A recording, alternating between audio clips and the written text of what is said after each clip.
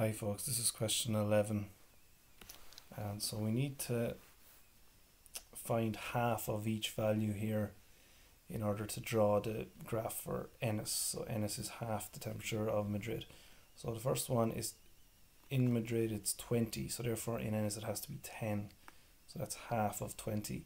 Now the next one or the hardest ones to see this is where the most mistakes will be so it, you should be able to see that that point there represents 15 and the next one as well is 15 so half of 15 is 7.5 so our next point should be in here. That's halfway between 5 and 10 so and then it's the same for the next one because next one was 15 as well or Madrid is 15 so and it has to be 10 has to be 7.5 down here.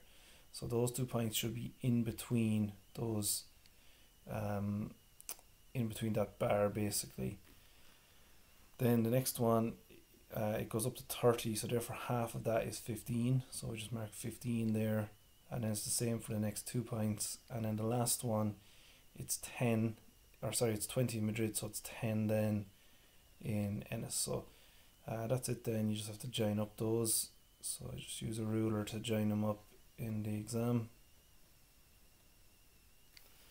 And then that's it then, all that's all we have to do. But there was a lot of mistakes there with that question, particularly with the 7.5 part. A lot of people didn't, they brought it down to 5 or they brought, left it at 10. Um, so that's it then, that's all for question 11.